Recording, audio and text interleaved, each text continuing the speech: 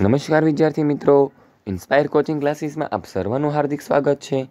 આજે આપણે ધોરણ છના સામાયિક મૂલ્યાંકન કસોટીમાં ગુજરાતી વિષયનું સોલ્યુશન જોવાના છે. તેમાં પ્રશ્ન નંબર એક, જાહેર સ્થળો પર જોવા મળતી કોઈપણ પાંચ સૂચનાઓ નોંધો. તેમાં પેલું છે, વૃક્ષના ફૂલ તોડશો નહીં. પછી બીજી સૂચના એવી પણ લખેલી હોય, સ્વચ્છતા, ત્યાં પ્રભુતા.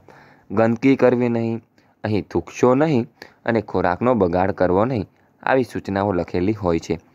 પ્રશ્ન નંબર બે, પ્રશ્નોના જવાબ લખો. અહીં આપેલ શબ્દ પૈકી કયો શબ્દ રવિશંકર મહારાજ માટે વપરાયેલો છે? તે લખવાનું છે પેલું, પુત્ર, સરદાર માણસાઈના દીવા તવંગર મુખસેવર કે ખાનદાની અને બાપુ. તેનો જવાબ આવશે માણસાઈના દીવા અને મુખસેવક ત્રી બીજું સવાલ, તમે પ્રાર્થના શા માટે કરો છો? તો તેનો જવાબ આવશે आठ चार सौ चार सौ चार सौ। जी हाँ याद कर लीजिए व्हाट्सअप नंबर, क्योंकि अब चाहे आपका मैथ्स का सवाल हो या फिजिक्स, केमिस्ट्री, बायोलॉजी का, आपके हर डाउट, हर क्वेश्चन का मिलेगा, तुरंत वीडियो सॉल्यूशन वो भी आपके व्हाट्सअप पर अपने फ़ोन पे डाउनलोड का आठ चार सौ चार सौ चार सौ। नंबर सेव कर लीजिए और चैट ओपन कीजिए। और जो भी आपका डाउट है, उस सवाल की आपको फ़ोटो खींचनी है, उसे क्रॉप करना है और पाँच सेकेंड में आपको उसका वीडियो सॉल्यूशन मिल जाएगा। क्लास छः से बारह IIT JEE NEET CBSE board और सभी स्टेट बोर्ड के बच्चों के लिए।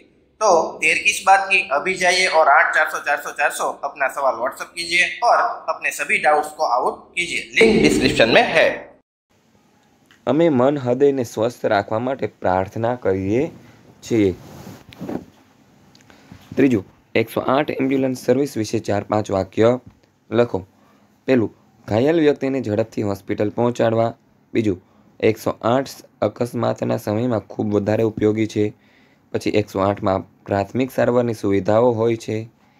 એકસો આઠને ફરતું દવાખાનું પણ કહેવામાં આવે છે. પછી એકસો આઠ એમ્બ્યુલન્સ સેવા એ દૂરના અંતરાળ ગામડામાં પણ ઝડપથી પોતાની સેવાઓ પૂરી પાડે છે. પ્રશ્ન નંબર ત્રણ, નીચેનો ફકરો વાંચી પ્રશ્નોના જવાબ લખો. તો એ સરસ મજાનો ફકરો આપેલો છે તે વાંચવાનો છે અને પ્રશ્નોના જવાબ લખવાના છે. તેમાં પહેલો સવાલ છે ઝેરી સળી લઈને આવ્યો ત્યારે ટોમ કેમ ના દેખાયો? તેનો જવાબ આવશે, ટોમ બીમાર હોવાથી દવાખાને ગયો હતો, તેથી તને તે ન દેખાયો. પછી બીજું, ટોમની બીમારીના લક્ષણો કયા કયા છે? તો તેનો જવાબ આવશે, ટોમ દરરોજ વહેલા ઉઠી જતો, પરંતુ તેને દસ વાગે તો પણ નહોતો ઉઠ્યો. બીજું, ટોમ થોડી વારમાં થાકી જતો. પછી ટોમને ચક્કર આવ્યા અને તે જમીન પર પડી ગયો. ત્રીજું, ટોમને ઊંઘતો જોઈ ઝેરીને શું વિચાર આવ્યો? તો તેનો જવાબ આવશે, ટોમને સૂતેલે જોઈને જેરીને તેને હેરાન કરવાનો વિચાર આવ્યો. ચોથો, ટોમ કેટલા દિવસ સુધી બીમાર રહ્યો? તેનો જવાબ છે, ટોમ એક દિવસ સુધી બીમાર રહ્યો. પ્રશ્ન નંબર સાત સૂચના પ્રમાણે લખો. તેમાં પહેલું છે, ઉદાહરણ મુજબ લખો, ધોળું તો કે દૂધ જેવું ધોળું, કડવું કારેલા જેવું કડવું, કાળું કાગડા જેવું કાળું. પછી આ કુપાળમાં ઉગે વાળ તો ભાલમાં ઉગે ઝાડ આ પંક્તિને શું કહેશો? તો આ એક આપણી કહેવત છે. બીજું, શબ્દ સમૂહ માટે એક શબ્દ. કોઈ ખાસ પ્રસંગે સ્વેચ્છાએ સેવા આપનાર હોય તેને સ્વયંસેવક કહેવાય.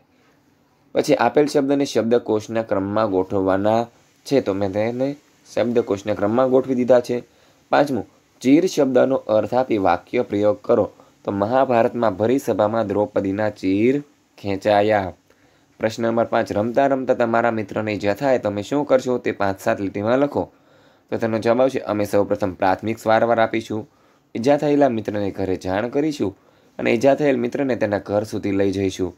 ઈજા થયેલ મિત્રને સાંત્વના આપીશું. ઈજા થયેલા મિત્રને દવાખાને પહોંચાડવાનો પ્રયત્ન કરીશું અને ઈજા થયેલ મિત્રને શક્ય તમામ મદદ કરીશું. વિદ્યાર્થી મિત્રો, આ વીડિયો જોવા બદલ આપ સર્વનો ખૂબ ખૂબ